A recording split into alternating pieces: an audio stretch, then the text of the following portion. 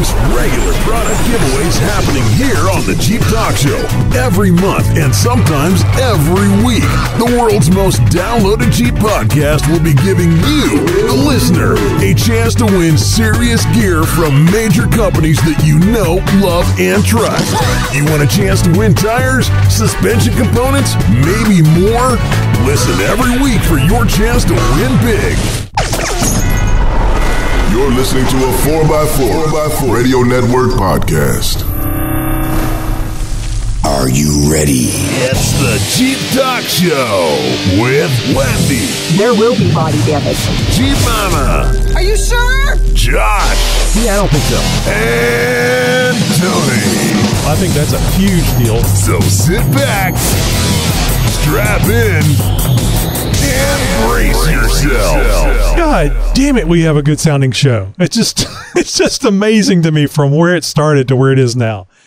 All right, guys. So we have an announcement to make. Talking about where it is now, we are going to have a fourth weekly episode. Just when you thought it was safe to go back into the internet, this happens. Dun, dun, dun, dun, dun, dun, dun. So, our fourth weekly episode will be an interview. We will uh, be releasing the interview episode. You call it whatever you guys want to call it. This is what I'm calling it on Thursdays. Monday, the format you've loved for years. Wednesday is the roundtable. Thursday, the interview. And Friday, the same format as Monday's episode. Jeep Talk Show, four days a week. Woo woo. I've said it before. I'll say it again. Damn, I'm already tired. Boys Day. oh, we can finally reuse that. Interview Thursday. Yep, yep. So that just means that uh, on our Monday episode, we won't have the interview there. And you know, I was thinking for the interviewee, the guest, it's going to be a lot better because uh, whenever they're telling uh, their followers on social media, they'll usually say, go to the 31 minute mark or 46 minutes or wherever it was, wherever the interview is. Now they'll just say, listen to episode five, blah, blah, blah, six, whatever, thousand, seven hundred, whatever, whatever it is going to be. It's just so much more organized. It's all smoke it's- and mirrors. Almost like we know what we're doing, right? So Almost. professional. you know, Jeepers, if you haven't been keeping count, let me tell you about our sponsors that are all behind these giveaways Midland Radio USA. And giveaways, plural, by the way. We're doing this on a regular basis. There is an Midland. Radio USA. We've got, we've already given away a radio. Nexen Tire USA. We're giving away a set of tires. JKS Manufacturing. You know about them. Bolt. The guys who, uh, you know, hook up your uh, your Jeep key to everything else that's locked up on your Jeep. So Dirty nice. Acres, The Gear Spot, Rock Auto, Northridge 4x4. They've really been taking care of the Jeep Talk Show listeners. Steinjager, there's a whole bunch more to come. These are the great businesses that have been agreeing to give you their great products, not just once, but several times over the next 12 months. You got to tell them thank you, like from the bottom of your heart. And you can thank the Jeep Talk Show directly by, well, helping us out by telling somebody about the show and our great giveaways. Remember the hashtag Jeep Talk Show and hashtag giveaways on all your social media posts as well to help spread the word. All of them, damn it. The JTS team is here to inform and entertain you about Jeeps. If you're new to the Jeep world or thinking about jumping in and getting your feet dirty, you're in the right place. Whether you're interested in having a unique off road vehicle ready to hit the trails or that daily driver that's also a weekend warrior, this show is for you. Find out more information about the Jeep Talk Show at jeeptalkshow.com. And you know, by the way, it's an excellent place to tell people to go if they want to hear the Jeep Talk Show like you enjoy listening to it. So how we doing, Jeeper? I'm Josh, and on this episode of the Jeep Talk Show, I'm going to share with you the loophole that's out there yeah, to get a brand new Wagoneer for less than anybody else. And Jeep just sold more of what than who? And later, I'll be talking about departure angles and hand tow hitches in Tech Talk. I'm Tammy, aka Jeep Mama, and I'm going to share my top five tips to protect yourself from a con man mechanic. Ooh, good one. Hi, I'm Tony, and tonight we have an interview that I've been excited to bring to you. How would you like to have a CO2 air tank in your rig for about $400 or less?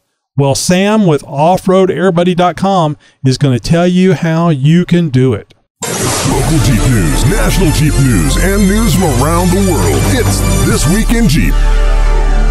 And it's time to get that luxury tow rig. Now, if you're looking Uh, to get yeah.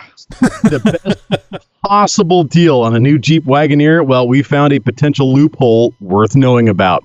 Based on dealer incentive bulletins and inside information through the dealer networks and Jeep Official, Chrysler Capital's 72 month financing rate is actually lower than its 60 month interest rate, providing a way to lower both your overall cost and monthly payment. Through May 2nd only, the 2022 Jeep Wagoneer Series 2 and Series 3 offers 0% APR financing for 72 months. At the same time, the 60 month rate on the same SUV is 0.9% APR. If you assumed a shorter loan would be more affordable, which in most instances happens to be the case, you could end up paying more money. On a $70,000 SUV, this difference in financing incentives could have a major effect on your potential bottom line costs. First, the total estimated cost of a loan is over $1,600 cheaper with the six year loan. Second, there's a massive price difference in the projected monthly payments when comparing both financing options. With the five year loan, the estimated payment would come out to about, oh, just under $1,200 per month before taxes and fees. But with the six year option, the same SUV would cost you just $972 per month. That's a difference of over $200 per month with a lower overall cost. Simply for choosing the six year financing deal. Now, it's not every day that we see a quirk like this, so I had to bring it to your attention. Longer loans typically entail higher interest rates, but that isn't the case here, at least for the time being. While it's tempting to decry the prevalence of longer and more expensive car loans these days, this could present an opportunity to get a great deal. Now, having said that, there are a few downsides worth knowing about if you do decide that this is right for you. Like most financing deals, this is going to require top tier credit to qualify. There's also another important catch in that the more luxurious Grand Wagoneer is completely excluded. The same goes for the more affordable Wagoneer Series 1. Still, for a buyer looking to buy now, it could be a surprisingly good time to do so. That is a lot of money. It is a lot of money. A I long mean, time. And for quite a while, yeah. But I mean, if you've got the warranty behind it, if you're not driving that many miles, um, geez, I don't, I don't know. This it certainly is an attractive option. And, and to be able to have that option to save that kind of dough, especially over that kind of a range, to get that kind of a vehicle, right. I'm sure there's a lot of people that are uh, are going to be heading down oh, to the deal. No, it's a good catch. I mean, that's really, really a good catch. Uh, and I appreciate you bringing that to the show. My uh, Rubicon was listener. a six year payment. Yeah. So the the thing that gets me is I remember when I was a kid and my parents would uh, very rarely buy a new vehicle I remember my mom going on and on about 48 months. I can't believe people will finance a vehicle for 48 months. We won't go longer than 36 because three years we want the vehicle paid off. And and I remember that uh, even to this day. And then these, I mean, you have to have these long duration uh, loans for people just to be able to afford the monthly payments. Yeah. Yeah, especially on uh, with the way the uh, prices on, on vehicles are nowadays. I mean, seventy thousand dollars for for a Jeep. I mean, you know, granted, it's a full size Jeep. It's at the top of the line, you know, luxury base, you know, all that sort of stuff. But still, man, I mean, twelve hundred dollars a month for a car payment. It wasn't well that long ago in Texas. That was a, uh, a a decent house, not a great house, but a decent house. Seventy thousand dollars. God, if only. I'm in Oregon. Oh, I know, I know. it, it, we've had uh, low prices for a long time in Texas. Real estate market, yeah. Well, over the years, I've occasionally reported on all kinds of things, on things like annual or quarterly sales figures, even for the Jeep brand. I know it's dry material, and I'm sure there's only about a 1% cross section of our listener base that even pays attention to that sort of stuff. So instead of going over the numbers of how many Jeeps were sold and what segments and what percentage growth or loss it is compared to years prior, I thought it might be fun to focus on the only numbers that really matter right now. Now, you may or may not know this, but I'm not a huge electrification fan. Not for Jeeps, and certainly not yet, anyways. The right. grid is just not ready. Now, that being said, I can appreciate the technology, and I can appreciate it even more when it beats up other vehicles in its segment. Now, for the first quarter of 2022, the Jeep Wrangler 4xe was the best selling hybrid vehicle in the United States. The Jeep Wrangler 4xe outsold the next best selling hybrid SUV, the Toyota RAV4 Prime, by a massive margin. Now, obviously, if you had to choose between the two, well, it's not really a choice, is it? now, now, clearly, the Toyota RAV4 is just completely outclassed by the Wrangler 4xe. I mean, even in that 4xe trim. Either way, congratulations to Jeep for once again beating the sales numbers of Toyota. I, is that a uh, unusual thing? I mean, Toyota cars, I know, but Well, um, since Jeep uh, its debut of uh, in 2020, uh, the 4xe has already outsold the Prius, which is awesome. Really, that's amazing. Yes, and and now the uh, and now one of other uh, one of Toyota's other vehicles in a in a, uh, a flagship uh, model as well with the Rav4 Prime. So yeah, so is this the is, I mean, Rav4 Prime like the same category as the 4xe? Yeah. Is that so? Just I- it- well, I that. guess kind of it is, but Kind of, it is. Yeah. Um, I mean, gee, segment for segment, I it, there really is no comparison, is no, there? But there's it there's a Jeep and there's everything else. Right, Yes, right. Exactly. I mean, I guess So, what I I'm mean- saying is the Toyota Rav4, their version of their SUV. uh, it's one of them. I think they've got three or something Uh-huh. like that. They've got the the Rav Four, the 4Runner, and then the Sienna or Sequoia. I don't freaking know. Yeah. It's a it's a tree. You hug it. yeah. So Tammy, uh, Tammy, you had a Prius. What did you think of it uh, when you were driving that around? Did I really? Since I don't the, re- I don't the head that. injury, you've become a lot more blocked. interesting. She's blocked that out of her out of her Yeah. mind. It's like, did that really happen? Oh, no. Did I? Did I You're rent supposed one to be one time? Maybe. you're supposed to be insulted and incensed Oh. that I would suggest that you would have a Prius. well, I rented cars a lot lately, so I thought, God, did one was one of my rentals a Prius? I think you'd know. You'd be going mm just to have the motor She's try- noise. She's trying to keep it a secret. Yeah. not something you want to get the word out.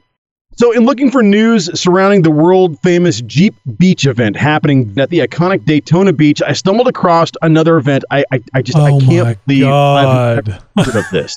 Oh. Combines three of my most favorite things in the world: Jeeps, beaches, and smoked meat. Oh, I was thinking naked, uh, half naked chicks.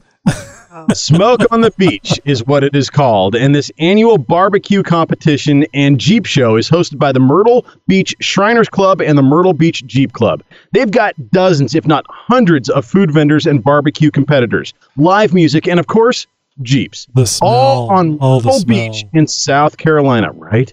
And if memory serves me right, I think Carolinas know a little something something about barbecuing. You know what I'm saying? Well, it's not No. beef barbecue as God intended it to be. Now, unfortunately, the event is well, it's already over. It happened Easter Easter weekend, April fifteenth, sixteenth. I know, I know.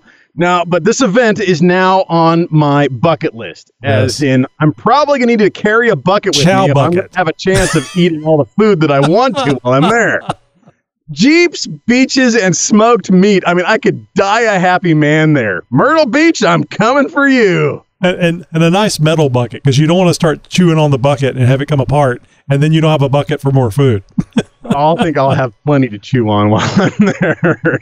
Goodness gracious. Oh, could you imagine? yeah, some of the some of the pictures that I've seen are, are I mean, just as far as the eye can see, just nothing but pit after pit after pit, and it's just like just uh, the smell. I mean, could you imagine for miles? There's probably wa- mouths watering everywhere. It's so, so I have this mental image of like Hannibal Lecter on the, the little dolly with the, no, the, I'll need a mask. the yes. mask and everything. No, no, follow me, follow me here for a second. Chain and and what up. you do is you you chain up your anorexic and you take them out there and just wheel them down by all the barbecue stuff until they get to the end and they have to eat something, and then you monitor them, of course, afterwards.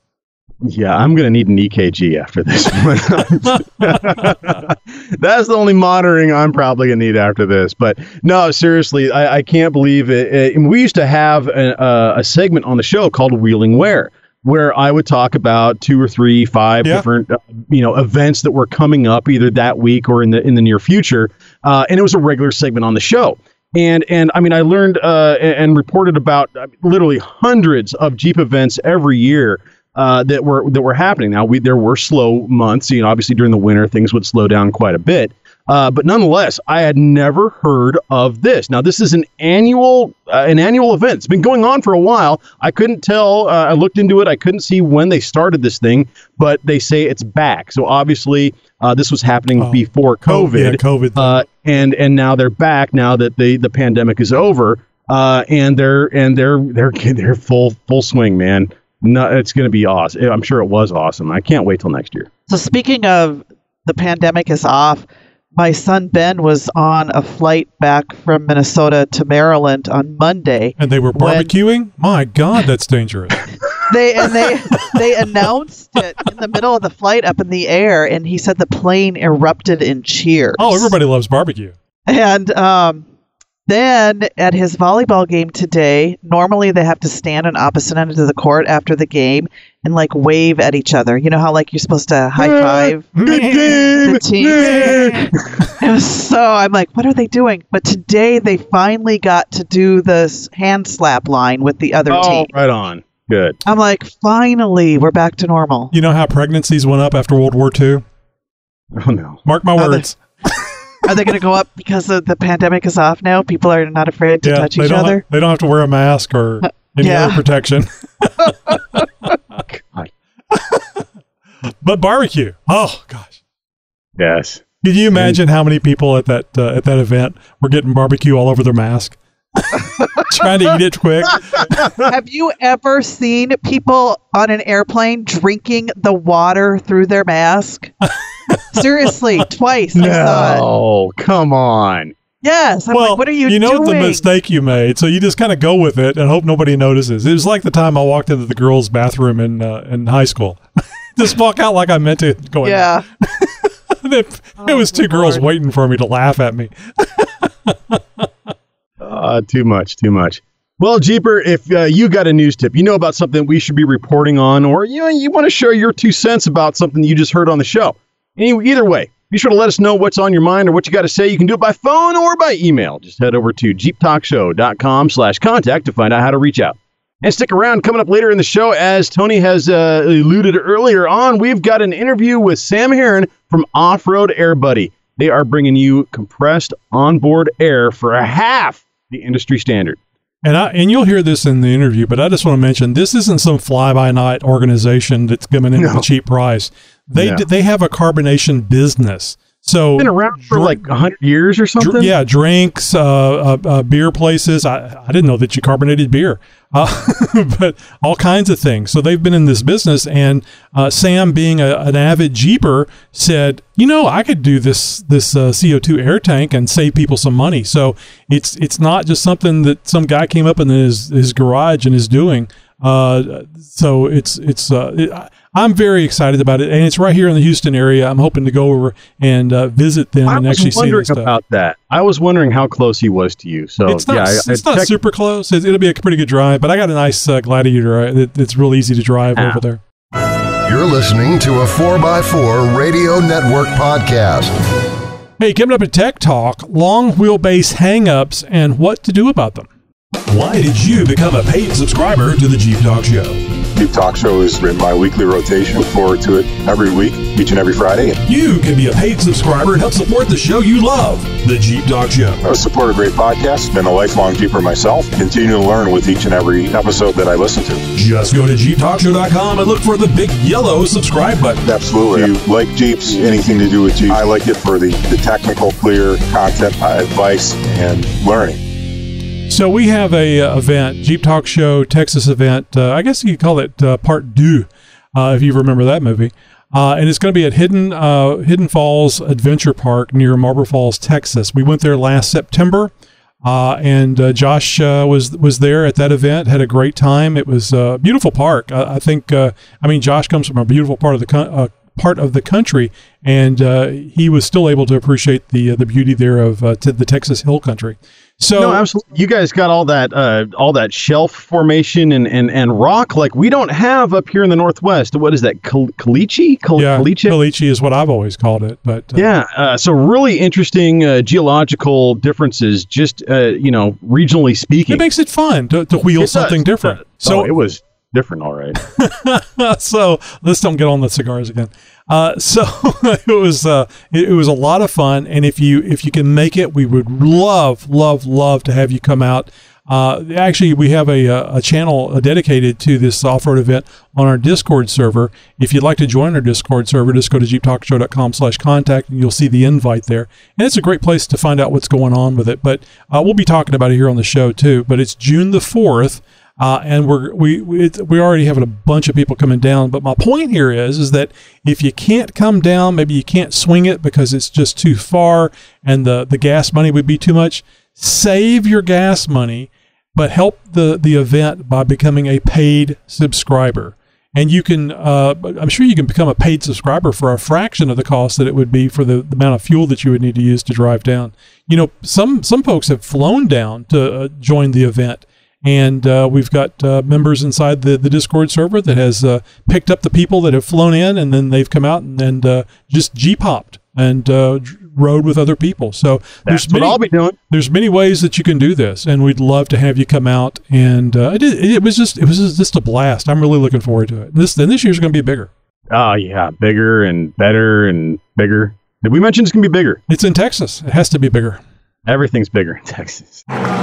From the mind of Nikki G.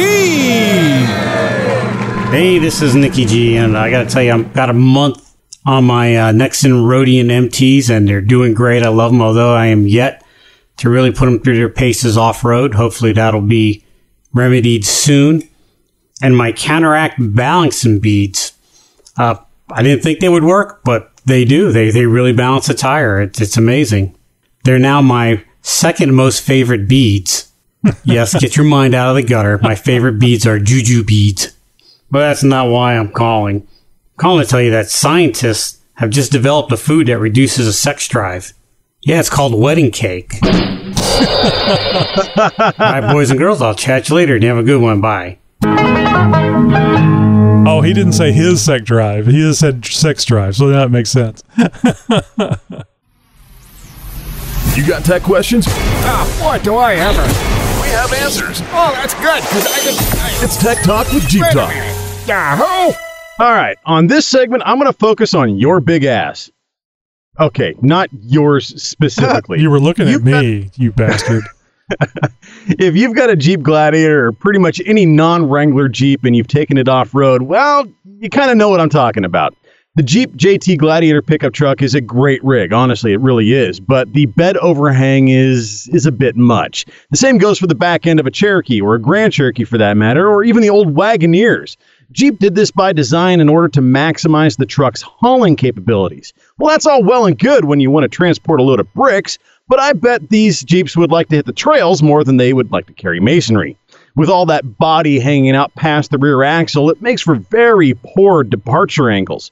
A departure angle is the maximum ramp angle from which the vehicle can descend without taking on any damage and is defined as the angle between the ground and the line drawn between the rear tire and the lowest hanging part of the vehicle at the rear overhang. In the case of the JT or even the XJ or ZJ or WJ or any other long wheelbase Jeep, well, this would be the tow hitch.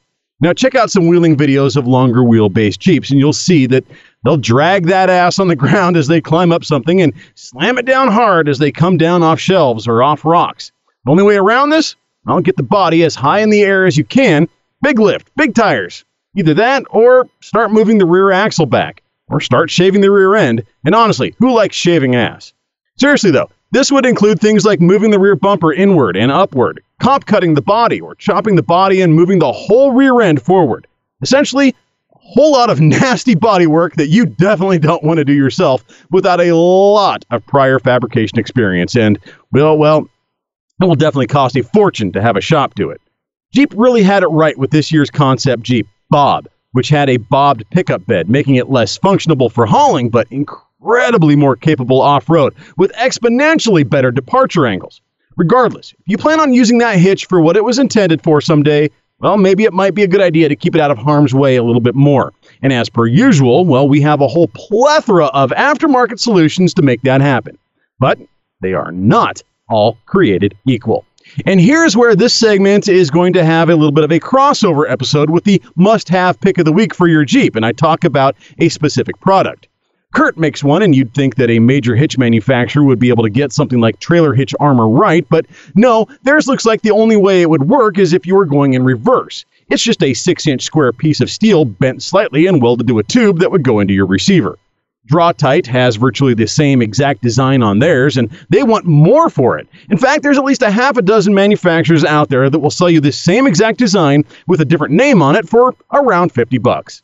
Now, Rockslide Engineering sells something called a rear hitch slider, and this is basically just a backwards shovel that you mount to your Jeep. I mean, if you want to snag, catch, and get hung up on virtually everything you drive over or plow the most amazing channel behind you in the snow, well, then this is the unit for you. it does look kind of cool, I'll give them that, but it's got to weigh a ton, and it looks horrible to try and attach or remove. A company called Body Armor sells another reverse shovel design that is just a much larger bent plate attached to a table, or a tube rather. Oh, sure, it has a nice, nice functional step incorporated into the upper half of the design, but all that does is add weight. And on top of that, none of these units look like anything that could be used in any kind of recovery outside of pulling a go kart across the parking lot. Screw all that nonsense. What does the situation really call for? Well, let's break it down.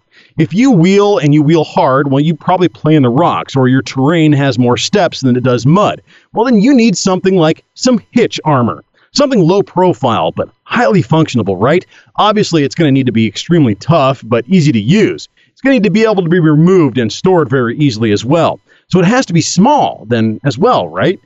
It would be a bonus if you didn't have to take it out to exchange it for recovery point too. So whatever image you have in your head at this point, I bet it closely resembles the product made by a company called 4122. The 4122 hitch slider protects your hitch receiver from damage. It's a one piece design. It has a ramped underside skid that is, allows you to smoothly glide over obstacles instead of catching up on a plate or damaging a receiver. The 4122 hitch, re- uh, hitch slider rather also incorporates a generous one inch soft shackle or D ring tow point into the design for added functionality. The hitch slider is available in five different ceramic coated finishes armor black, desert orange, electric blue, stealth gray, and red. They also have an unfinished version for that raw machined look. I know, it's all the other colors have a really cool name except red. You don't have to have a cool Because name for red. Red no, is because red, red is is all by itself. cool. Like It's- wow. Just not cool. They need purple though. And where's uh, pink? Well, you could take the uh, the raw aluminum one and then have it uh, anodized uh, yourself to whatever color you want, or uh, spray paint it, or uh, have it powder coated even. Oh, somebody will. Every unit is precision machined from a solid billet of 6061 T6 aircraft grade aluminum for a lifetime of rust free use. They are 100% made in the USA in Southern California. Now, I've seen these things in use, and yes, they can definitely take the beating. All that vehicle weight slamming down on the rocks time and time again. They just take it. The only thing that happens is a little scratching of the ceramic coating on the underside. But these are made of aluminum, and aluminum does not rust. And those scratches and gouges, that's just a real badge of honor to show just how hard you really wheel. The price point is a little steep. I'll give you that. For now, they cost $189 and come with free shipping. But being able to use that hitch for something else down the road without rust or a bent tube and having a little bit of extra armor to boot, man, that's priceless. You know what you need for this, uh, Josh? A bolt Uh, from Bolt Lock. Oh, yeah, there you go. To hold that it thing in would there. never have to move ever again. You could just weld that into the receiver. well, you certainly don't want it walking off, and at one hundred eighty nine dollars, it's likely to, uh, to to walk off. So Yeah, yeah, get you one of those little uh, receiver uh, locking receiver pins from Bolt, and and if you can do it when you use the same key as your Jeep, all the better.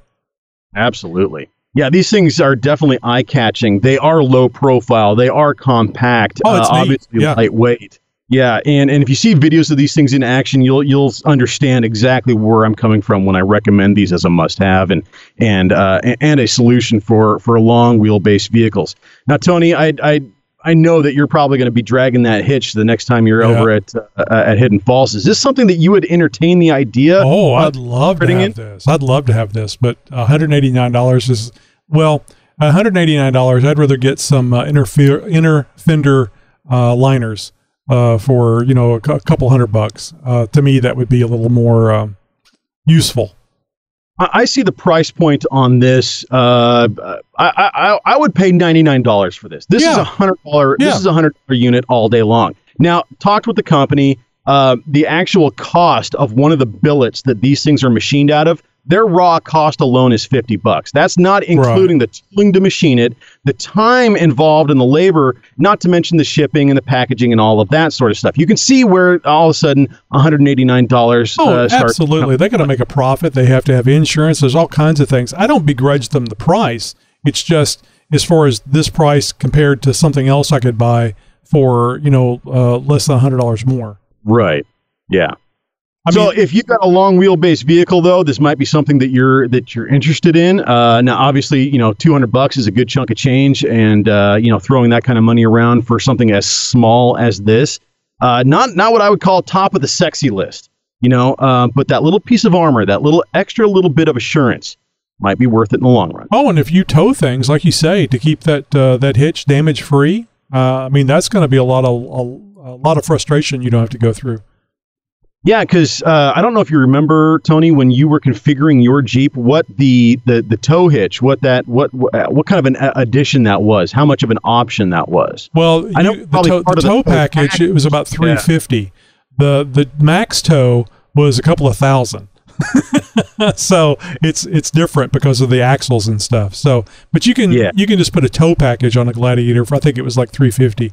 But with the the tow package, it was like a two hundred and forty amp alternator, uh, the Rubicon axles uh, minus the lockers, uh, several things. It was just a whole big pack- package, and it was for either the Max package. You're saying Max tow, yeah. So 350 would have been the uh, the, the the the basic charge for uh, a uh, you know for the the where So you, the thing you would com- put this in. Yeah, so compare so 350 bucks for a hitch replacement compared to 189 dollars. Um, you know, I mean, the, the, you could look at it that way uh, as far as a, a cost benefit analysis. If you you know come down on that hitch, uh, you know, too hard one too many times, and now all of a sudden you can't get a a ball in there anymore, or you you can't get a recovery point in, or you know something like that. So.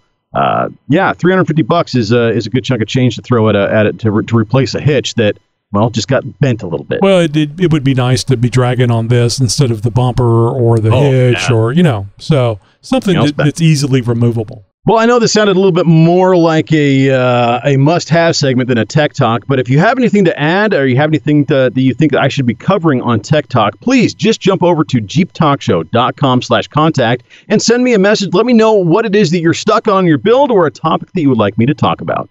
This segment of the show is brought to you by Lug Nuts. There's nothing like lug nuts to secure a wheel to a Jeep.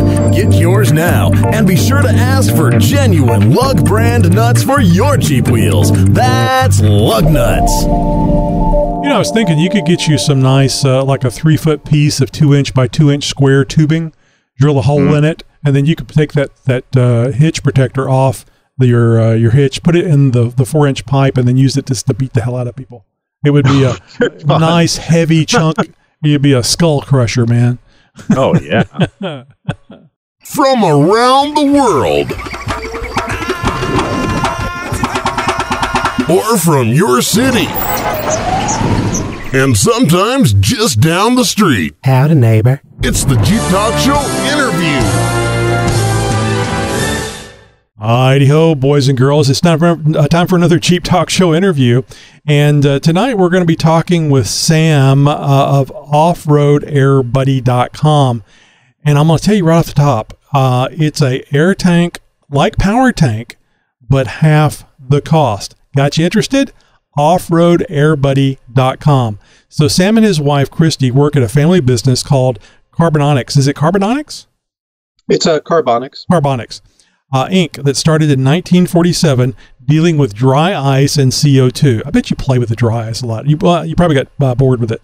Um, I don't know if I'm allowed to admit that. they they started Off Road Air Buddy as a division of the company in 2018, uh, but with generations of CO2 experience. Sam drives a black Jeep of the family, and in his spare time, he likes tracking down squeaks and rattles on his Jeep. God bless you. I hate that.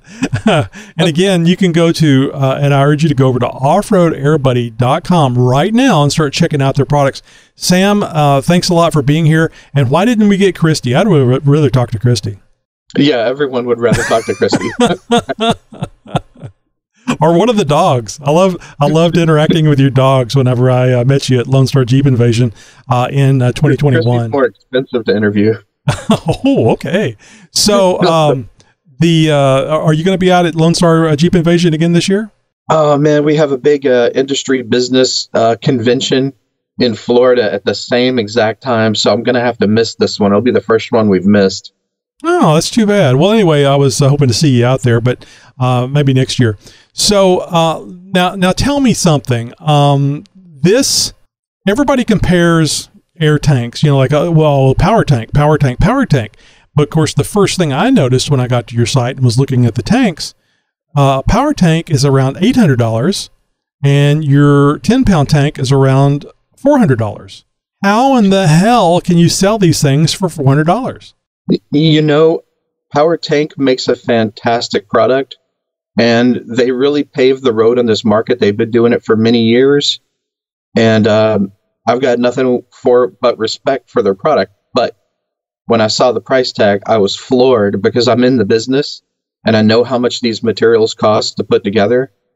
And at four hundred dollars a a set, a kit, you know, I'm I'm still making a little bit. I'm I'm not going to get rich off of this, but I'm kind of doing it more as kind of a hobby and a fun thing to do on the side. But it's it's still a small profit even at four hundred dollars. Mm-hmm. Well, I mean, uh, the the main business if, uh, for our Carbonics is going out and uh, loading up. I guess you guys do repairs on uh, uh, machines, beer uh, fountains, soft drink fountains, and also to take the the CO two can- canisters out there. Is that correct?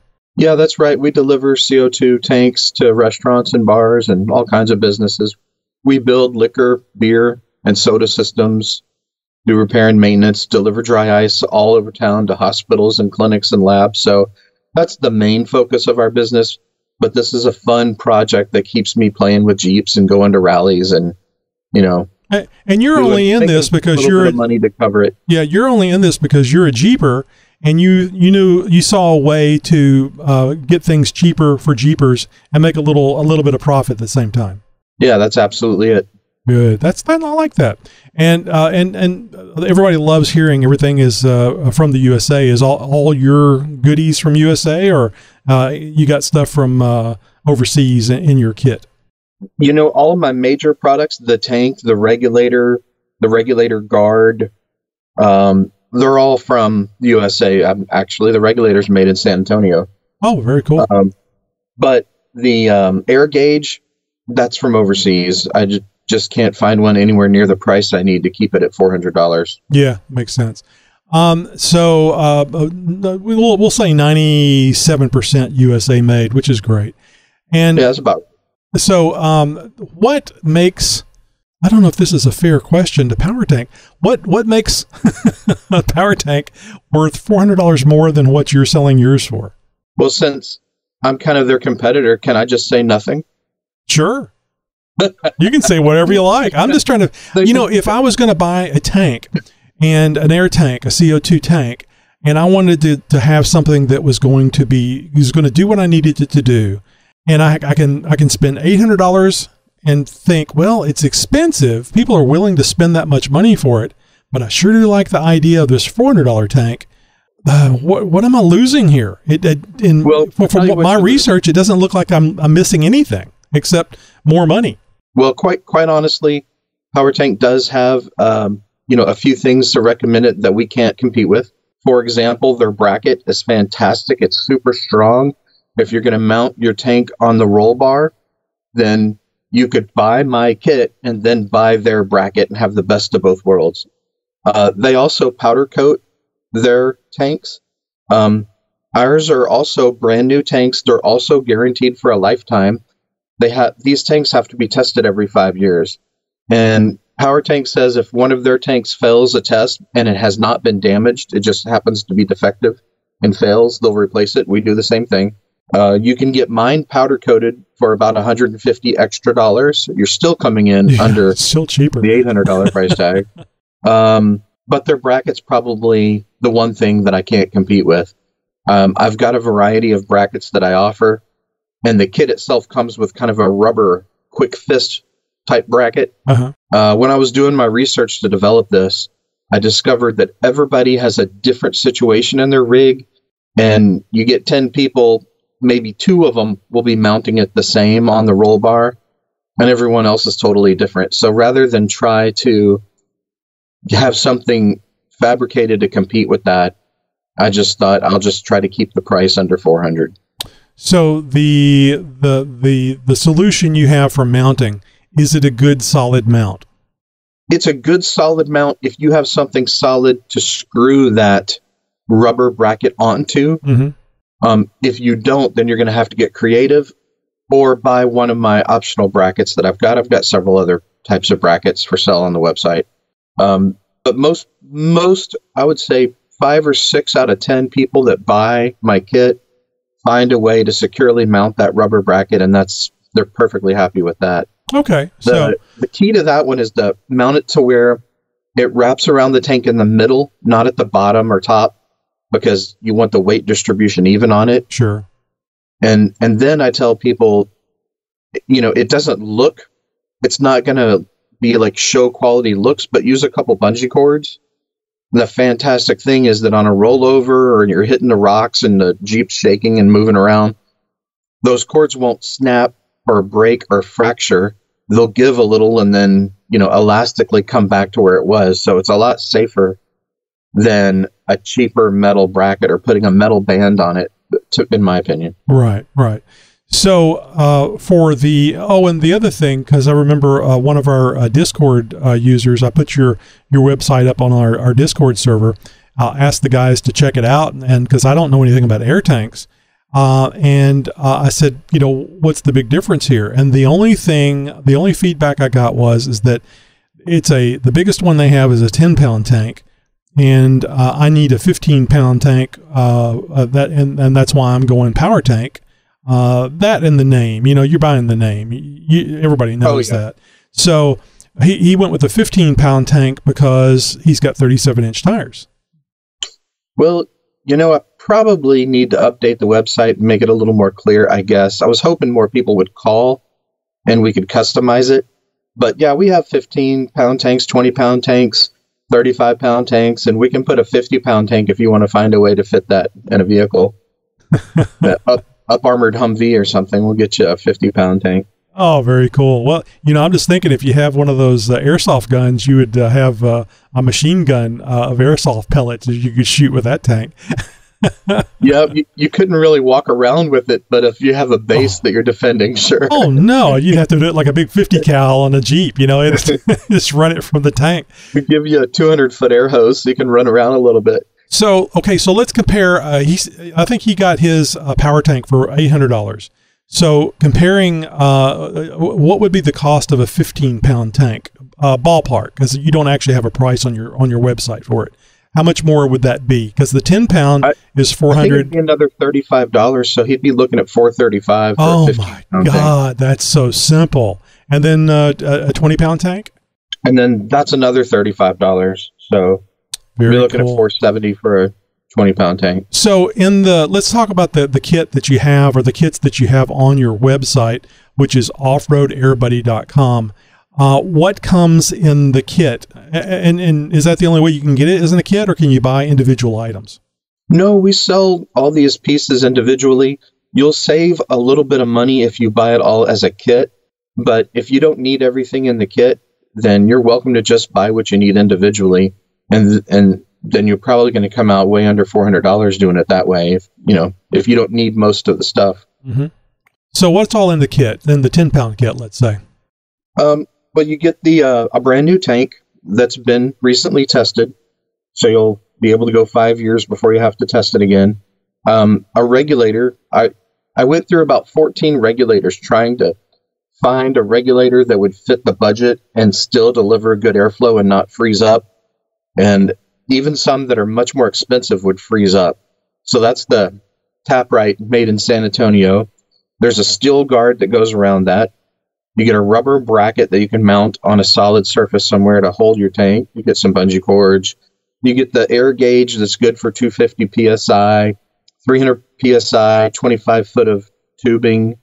Uh, you get a blow gun so you can clean out the back of your Jeep if that, you know, something that you want to do. Mhm. Four brass tire deflators. And then we usually throw in a few little extras for every kit too. Just some uh, swag. Sure. Now, I, know your buddy said he had 37 inch tires, so he got a 15 pound tank. My 35, I don't have 37s. All I can say is my 35s depends on how low I take them and then how high I'm airing them up. But I can do that 10 times, all four tires 10 times if I'm going from, say, like uh, 12 psi up to maybe 30 psi. Right. And because you guys actually sell CO2, you can actually fill these tanks uh, at your facility. We can fill them. They're going to spend about 25 bucks to get a 10 pound filled up, maybe 29 bucks for a 20 pound. If somebody wants one of those 20 pounds, Mhm. we can also uh, custom fabricate dip tubes so the tanks can be mounted sideways and still draw the gas from the headspace Oh, at the top side of the tank instead of the tank having to be upright too. interesting. That's really cool. Because I I just assumed you could do that. I had no idea. I'm glad you pointed that out. So, a lot of people will put them sideways, and then when they open up their uh, hand wheel on the valve of the tank, they're getting uh, liquid CO2 because the airspace now is at the top side of the tank. sure, that makes sense. Uh, and I'm sure liquid in the, inside the tires it works out really well. The slosh factor. Uh, it um it sublimates instantly at room temperature to gas, but it'll freeze up the regulator, freeze up the hose, could crack the hose because it's a negative 109 degrees. So you're going to wear out all, all your rubber. It's not great for your tire to get that cold. So what you're saying is, if you're out at Hidden Falls on a, a hot, summery Texas day, you can uh, turn your uh, your tank sideways and cool off real quick. Oh my gosh, I'm not saying that. no, no, you shouldn't. I just said it. Uh, don't try this at home Right. or at Hidden Falls. I don't see a downside to this. I mean, I see that it's a, a, a cost savings. Uh, you don't get the power tank name, uh, but you get. It sounds like to me you get something that works and fills up your fills up your your tires and uh, And if you have a if you have a show Jeep, um, I can get it powder coated for an extra 150. just don't 150. My God, I think I could rattle can it and look if it looked nice. I'll rattle can it for free. oh, there you go. That's a that's a steal. So, um, uh, is there something I'm missing here? Why would I? Why in God's green earth would I, I go and spend eight hundred dollars if I can get something for Well- you the same for a fifteen pound tank for for what'd you say like uh, around four hundred and thirty five dollars? you know, you get the name's important. Do you want uh, Red Rock parts on your Jeep? You know, or Metal Cloak? you know, Right. uh, they do make a nice product. It's powder coated. Their bracket's awesome, and they have a, a very well recognized name. Um, I think my logo looks pretty cool. Yeah, sure. I mean, I'm not trying to harp on Power Tank. I'm just surprised at the price difference, and I'm it's very attractive. And of course, you've made it attractive with a lower price. Uh, and the whole reason you got into this was I can do that for for a lot cheaper. Um, but Right. but everybody's but because of the lower price, I get the feeling if you were if you were charging 600 or 650 for it, they go, oh, well, this must be as good as the 800 one. That's that's a reasonable savings. But you're trying to be a good guy and help some jeepers out. and it's and it's such a it, half the price. You're going. They're going. What's wrong with this? There's got to be something wrong with this. Uh, So I'm I'm trying to get for myself personally, and also too for the listeners out there. You know, uh, why should I try this? So um, is there? Oh. Uh, and uh, like I said, I don't mean to harp on uh, Power Tank. Steve was a great guest, and, and I know Power Tank is a, a great product. Uh, but if there's a, an alternative, it only it not only does it um, mean that uh, there's a bigger market there for Jeepers or any off-road people, because you don't have to be a Jeeper to, to buy this from you. Um, but also too, it will it pushes uh, progress in the in the environment, so it causes uh, Power Tank to make a bigger a better product as well. And of course, you'll have to do the same thing. And the uh, us consumers are the ones that win in the end. So it's not a bad situation to have competition. Competition is good. So yeah, I totally agree. And in fact, I've got some uh, metal fabricators right now experimenting with um, additional custom mounting brackets and shelving options too. So, and that's all because of you know there's other people out there on the market that have other tanks. so um, I the have a water kit too. I don't th- know if Power Tank offers that. okay Um, but I've got an onboard water system you can add on for no, it's another $175, but it includes a self-priming uh, pump and 25 foot of hose and a spray nozzle that's selectable like your garden hose. And if you have a source of water, whether it's a you know a gallon jug or a big seven gallon container or whatever, you can just drop your supply line into that water and you have jet stream or a shower head or whatever you want. And uh, I use that all the time. That's a product that I thought would be more attractive to the off roader. Uh, we don't sell a great number of those. I guess it's specific, a very niche market item. But I thought having a powered water on the trail would be pretty handy. I can see how it could be. Uh, obviously, the I think I think it's convenience factor uh, when you don't have to spend a lot of time airing up after your fun. So I can see how uh, people like that aspect of uh, getting the tear, uh, the uh, the tires aired back up. does the the water system use the air tank at all? I'm sorry, the CO2 tank. Yeah, it uses the CO2 tank to power the pump. Yeah, that's what I was thinking.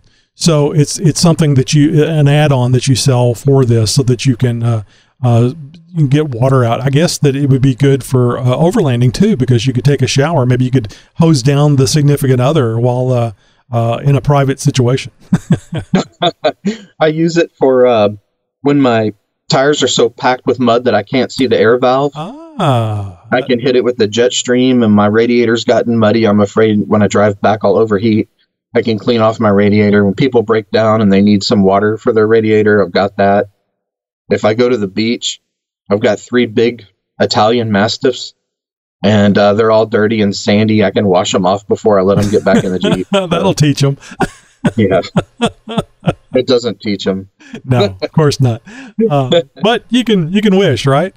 Well, I don't I don't see a downside to this. It sounds like to me, uh, unless you are just really insane about powder coating, that this is a, a really really great deal. Yeah, I like to think it's a great deal. I've tried to make it as good as I possibly could with a four hundred dollar kind of limit in mind for the ten pound kit, which mm-hmm. is the average size tank people want. Right. Um, and, and you think that's uh, for your your own use on your 35s? Uh, that's uh, 10 tire uh, air ups based on how far you uh, let the pressure out and how much you raise it back up. So, so your tires may count, your tire count may vary. Um, right. Well, this is the thing I was going to ask you: Who checks these uh, these tanks every five years? Where do you go to have the the, the tank checked? Well, we are a hydrotest testing facility, um, but you have to go to a federally sanctioned testing facility. Um, I don't know where to find one if we weren't one. Well, you don't have to look. Um, you know one. yeah, if you're anywhere near Houston, you can come to my little shop in South Houston. Um, Carbonics on 506 Nebraska Street, South Houston. Not to plug myself. No, no, that's that's but, fine. I was actually going to mention but, that it, you were in the Houston area, and if you if you purchase uh, at their facility, you get uh, the tank already filled, but you can't ship them uh, filled with CO2. I wanted to mention that to everybody. So, and, and Power Tank has to do the same thing because uh, the, the the listener that just got his power tank, it's empty, so he has to go find some place to fill it up. Yeah, unfortunately, that's a uh, DOT requirement. They have to ship empty just for safety reasons. Sure. Speaking of safety, I spent a lot of time testing the safety of these tanks. Um, I took a worst case scenario tank from my own vehicle. I have a black Jeep. I painted it black. It's a steel tank. I left it in the summer heat and the sun. I overfilled the tank, which you're never supposed to do, um, just to make it worst case scenario. So if the pressure ever gets over 3000 psi because of the heat in the tank, there's a little copper disc in the valve that will burst open and that disc will vent the CO2 safely in three different directions so that your tank doesn't become a little torpedo. Right. Um, it'll it sounds like a, a little 22 gun going off, not that loud. Um, and you're you'll see the gas venting in three different directions from that safety. Uh, I never could get mine to pop, even in all the worst conditions. Direct sunlight, windows rolled up, black Jeep, black tank. Very good. I like that. But still, if someone buys one, I do advise them to try to park in the shade in the summer or leave a window cracked. Just be aware that if your tank is completely full, you haven't filled up any of your tires yet since getting it filled, you don't want your tank to be over you know 130 degrees for very very long. Now, you're a dog owner, so uh, I wouldn't, I, I know this isn't the proper thing to do, but if you had your animals in your vehicle with what these tanks and it, uh, it, it vented like what you're talking about, this would be potentially deadly for any occupants in the, in the vehicle at a certain level, wouldn't it? Yeah, if um, if something happened, I guess uh, it'd be a the dog would have to be pretty skilled to get past the handle and the steel guard to get the hand wheel and turn it. But no, no, I mean if it if it popped, if it the vibrated if the, loose or if, something. if the protection uh, that you were just describing, it, it got too Oh. hot, the heat probably would get the dog before the the CO two. But it, if the safety popped, you would hear it pop and you would hear the gas hissing out unless you weren't in the car at the time. That's what I'm saying. You're you got your car, you, your vehicle locked up, and you left your dog in it, which is a no no. But it potentially could suffocate the the animal. That's true. Um, but if you're leaving, like you said, if you're leaving your dog with all the windows rolled up in the summer, and your Jeep gets to 130 degrees enough to, and stays there for 20 30 minutes to pop the safety, the dog was probably already dead. Right. All right. Well, good. I just wanted to throw that out there. It just crossed my mind that this is not something that you want to uh, test um, with uh, any, anything that breathes air because that CO two. I would imagine it's quite a bit of CO two. Uh, not not every not every vehicle is airtight, and certainly Jeeps with soft tops are not. But uh, just wanted to throw that out there as far as uh, something for people to think about with any uh, CO two tank they they would be using. So yeah, um, there's no no difference between mine or any others in this particular regard, and uh, it's a real concern. The CO2 is heavier than air; it'll displace oxygen. You can suffocate. It's odorless, tasteless. If you're in a small area and there's a leak that you can't hear, you wouldn't know it. You would just get you would just feel tired and then sit down and then pass out and have a then pass away. have a great long nap. That's right. wake, as I like to say, it, it's pretty scary when you wake up dead. Um, so if, if my 20 pound tank leaked inside my Jeep and then I opened my door, 80% of the CO2 would just fall out of the door by the time I got in the vehicle. Um, but still, um, I would still have a lot of CO2 in there and I might not be able to breathe as easily as normal. Mhm.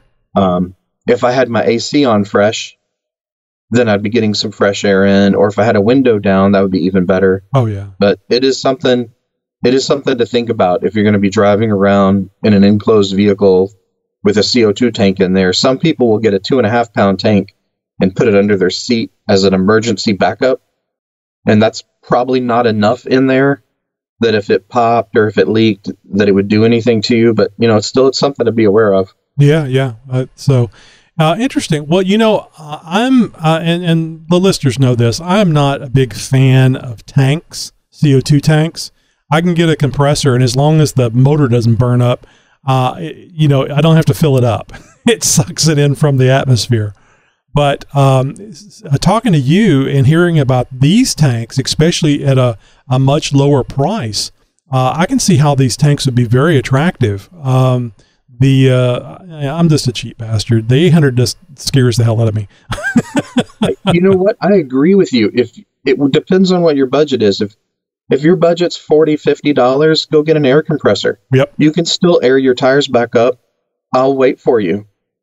yeah, You know, it may may take a while. That's all right. We're friends. I'll wait for you. yeah. Well, that's um, what that's what Steve said. He got tired of waiting to air up, so he came up with a solution. You know, you, you can't you can't pop a bead back on with the air compressor, and you can't run power tools, air tools with the air compressor. Um, but that's okay. You know, you can still air your tires back up, and that's ninety percent of what you'll be doing. Oh, and of course you can run air lockers with this thing, uh, like you said, the uh, air tools, and I, and we did we didn't talk about that. So this thing will run air tools uh, for off the road fixes. Yes, I, I picked a regulator that had enough flow, enough volume throughput to be able to run up to medium duty air tools. Well, can you think of anything else? I mean, I'm pretty happy with what we've talked about here. I feel like I know a lot more about your uh, CO2 uh, tanks and all the goodies that come along with it. And from everything I can see, uh, I don't care about powder coating. And I'm probably going to do my own mount anyway or use the mount that comes with your stuff. So I'm more, uh, I don't have a show Jeep. I mean, it, it's pretty, but I'm not so concerned about it looking really nice for an air tank. The air tank's there to air stuff up. Yeah, that's that's the market I'm aiming for. If if pretty is your main decision making factor for buying a tank, go look at Power Tank. They make some great ones. You know, or if you know already you're going to be mounting it on the roll bar and you want the best possible bracket, you can either buy theirs and use my tank or just buy their kit that comes with their bracket. Mm-hmm. But for everyone else that just wants a working system that they can rely on and it's faster than an air compressor, then I think it's a pretty good fit for for that category of person. Uh, all right, Sam. I can hear people out there going, "Okay, here, take my money. You've sold me. How do I buy one of these things?" So, how do they go about getting one of these tanks from you? I'm I'm so old fashioned. I hate to admit it. I don't have like a bunch of social media stuff. If they go to offroadairbuddy.com, our phone number's right there. They can call and ask for Sam or Chrissy, and we'll take their order. We can talk to them about what all they want. We can try to customize it to be better what they need. Um, if they want to find us on Instagram or YouTube or something and look at some videos of people using them or some examples, then they can do that. Uh, those links are all on that website, offroadairbuddy.com. So, how can people pay? I'm sure cash is one way, but how, how else can they pay? And it's going to be over the phone if they're if they're not in the Houston area or traveling to the Houston area. How would they buy this uh, uh, over the phone and get it shipped out? I'm sure name, address, and then Mastercard, Visa, American Express, all the popular. Yeah, sure. We take all the normal credit, um, debit. If somebody wants to mail in a check, we'll wait till it clears and then send them their tank. Oh, that's cool. Um, you catch us at a show, we'll take cash. Um, a guy tried to try, uh, trade me for one of those power motorcycle things, those little mini motorcycles mm-hmm. at the Lone Star Rally. Did you see those at the last show? No, I didn't. Those were really cool. They were right across from me. I almost went for it. So I'll barter a little bit too. So uh, that just crossed my mind. Like it's like somebody was trying to trade me a Bronco. I don't care nothing about no Ford Broncos, so I probably didn't pay attention to the little motorcycle either. so got to get the the Bronco jabs in there, but but the air tank will work perfectly fine for the Ford Broncos too. So it doesn't have to be a Jeep, people. Uh, yeah, I mean you could put this on your work truck. I mean, you know, I mean it doesn't have to be, but it should. Yeah, yeah. I was I'm just make, trying to make the audience a wider a wider market for you. I'm just playing. so, uh, oh, and you have a little uh, something something for the, uh, listeners to get some uh, a little bit off, right? If somebody calls in and they mention the Jeep Talk Show that they heard it, heard about it on the Jeep Talk Show, we'll give them twenty five dollars off whatever they purchase. You know, whichever kit they want to purchase. Excellent. So, and and, uh, and I'll just mention this: we're not going to say why now, but our goal uh, for getting people listening to this uh, this interview is to purchase at least not not individually, but we want to sell because of this interview at least three kits. Sam knows what I'm talking about.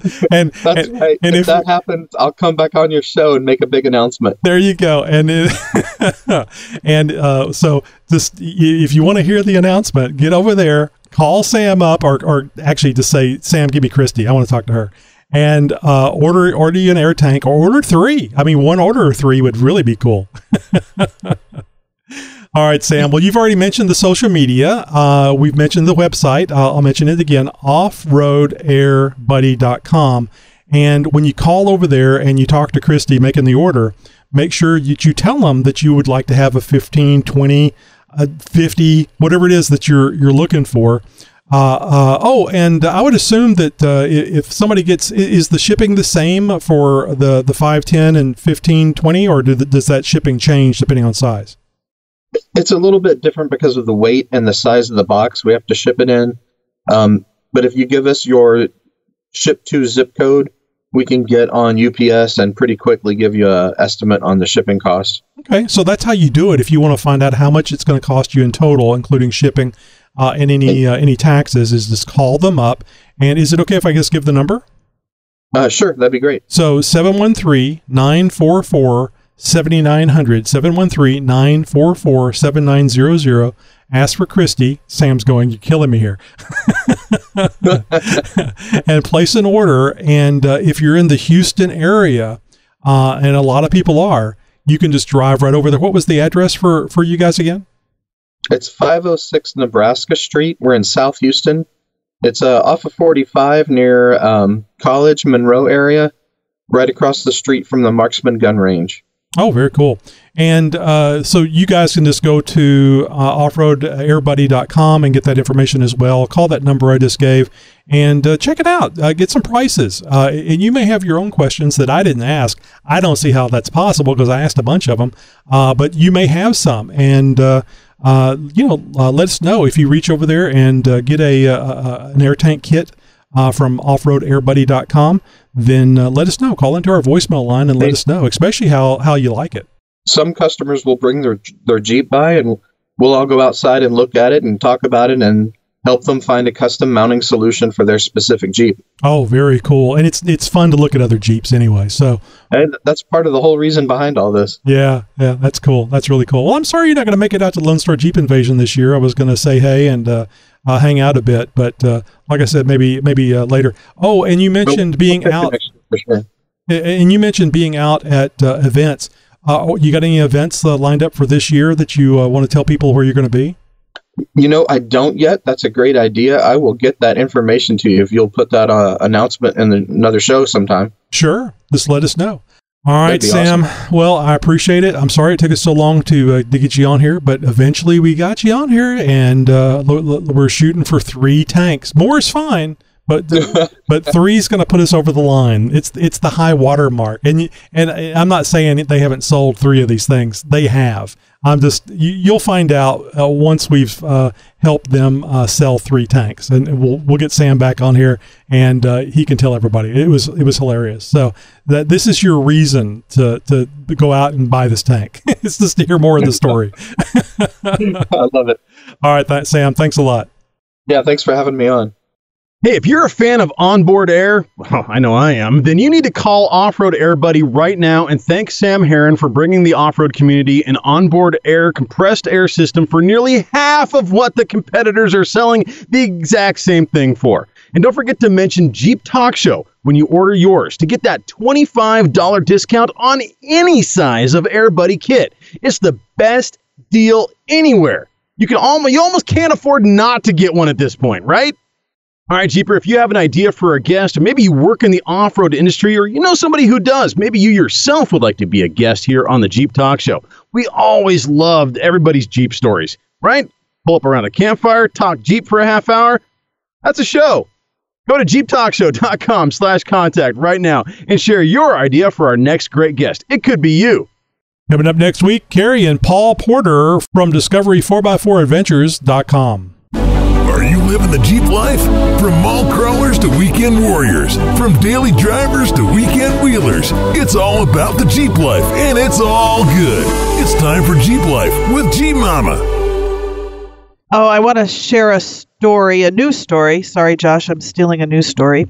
Um, it's out of Colorado from about a month ago. There was an investigation underway into a Colorado Springs auto shop after engines disappeared out of customers' cars and the business appeared to be closed. More than a dozen people say the business took their money and didn't do the work that was promised. And then some of them went to get their cars that were parked outside along the street and they found their engines were gone. Like the whole engine was out of the vehicle. The Colorado Springs police confirmed they opened an investigation, but they didn't elaborate when they were questioned by the local news station news station about what was happening with the investigation. The customers shared they felt the owner was running a great business, but then all of a sudden stopped returning their calls. One customer said he was out $16,000. Another stated he has nothing no engine, no parts, no nothing. Another customer paid the owner about $28,000. Many of the people took their concerns to the police, and now they're just playing the waiting game. Um, I want to clarify this wasn't a Jeep or a 4x4 shop, but it looks like it was like mostly a Subaru engines. Anyway, from the comments, also on a local Jeep group Facebook page, that's where I found this story. This man apparently has done this before. He just goes from town to town. He skips town once he steals whatever he's going to steal or scam and he disappears. And you know what? This happens more than you guys realize there's a lot, a lot of scammers out there, swindlers, grifters, taking advantage of people. And these con men are good at what they do. They're very charming. They talk like they know what they're talking about, and some of them even know what they're doing. And but they fool you, and they're out to take advantage of you. Now, there are some ways you can protect yourself from this happening to you. These are not foolproof because these con men are very, very good at what they do. And having many years of practice, that makes them really good at conning you. And they usually go from town to town to town. So, here are Jeep Mama's top five things to look for when you're picking a mechanic. First of all, make sure you find the necessary paperwork, and a lot of times they will frame it and put it up in their shop, like a business license, sales tax permit, any certifications certifications they may have, um, insurance, copies of insurance papers. This is not a guarantee they are legit, but it's a start. You can look up their business name as well. At each state has different Secretary of State's offices, and you can just Google the business name to see if they're in good standing. Now, that really truly doesn't mean a whole lot. It just means that they paid their fee to the state. You you know you register your business name like Jeep Mama's Garage, and you pay the $45 fee, and you're in good standing. That doesn't mean I'm a legit garage, but at least it, you're registered. Another way, number two, is to get online and look for reviews. You have Yelp, you have Google Business, you have Facebook. Just Google the name of the company, the business name, or even the mechanic's name. Um, just Google the name. You will be surprised at what you can find. Also, ask around town to find out how long that specific business has been in that town. When did they set up their shop? How long have they been at that location? Usually they come into town, they're set up for a year or two, and then they're gone. So if you have a local mechanic that's been in your town for like 20 years, uh, you're suffices to say that he is probably not one of these type of mechanics. Check out your local county courthouse to see if there have been any lawsuits filed against the business or the mechanic. Some states, you can even go online for court records and you can search the name or the business. I know Maryland has it, Minnesota has it.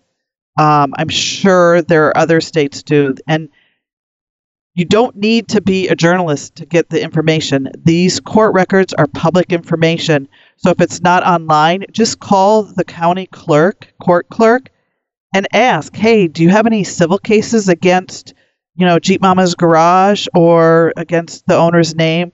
And they usually will tell you, and they will tell you the status of the case, like if they lost, if there was a, a judgment against that business for X amount of dollars. Now, if you do find a shop to work on your vehicle, make sure you get everything in writing. Everything. Ask for receipts of the parts parts purchased, get an invoice with signatures, and what this does is creates a contract and is very important if you have to go to civil court because an invoice or a quote is like a contract. And if you don't have that, the judge is going to throw your case out you have to have a contract to be able to sue to get your money back. Now, if at all possible, do not hand over thousands of dollars, for Hmm. example, for restoration work or repairs.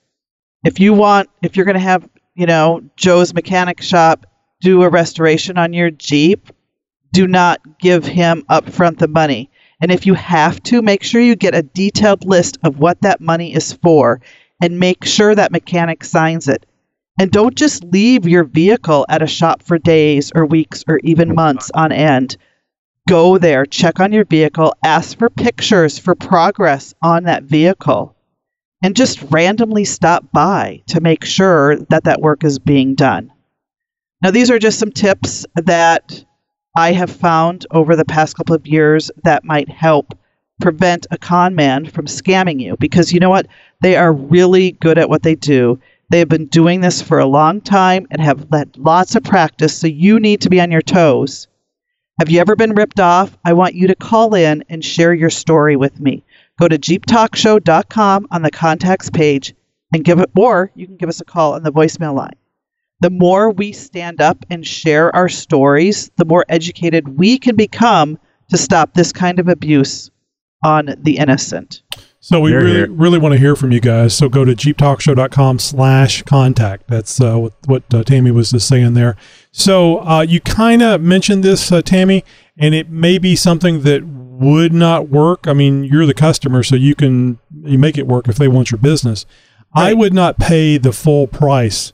I would, uh, you know, maybe Absolutely not. maybe 50%, maybe less. I mean, it really depends on what the parts are going to cost because I don't like the idea because the, the other, the opposite can happen. You can actually stiff the, the guy that's doing the work. So Oh, agree. I don't, agree. I don't, That's where a mechanic's lien comes from. yeah. And uh, so I can certainly understand giving them uh, enough money to cover the parts they're going to put on there. Uh, but uh, you, you may have to do a little, um, a little work on your own, figuring out what that, that cost would be. Uh, but these days with uh, with Google, that should be should go pretty fast. Don't give them all the money. So No. even uh, Like, if you're it getting a won't keep them from rest- stealing the money from you, but at least they won't steal the full twenty eight thousand. Right. Like, let's say you're getting your Jeep restored, and it's going to be like ten thousand dollars. Say, okay, here's, um, here's a thousand dollars for you to, you Yeah, know, get do it the started. spring over axle swap. Yeah, get And it then- started, and then the regular checks. You know, Go check it. Oh, it's done. Okay, let's do the painting the body now. well, or the, let's- the contract that you say it could all be written out, Right. And then uh, this is when it's going to be done, and this is when you're going to get paid. Scope It's, of, scope of work, it's- agreed upon, it's progress payments, you know, all that sort of stuff. it's another way to get them to focus on your project too. Right.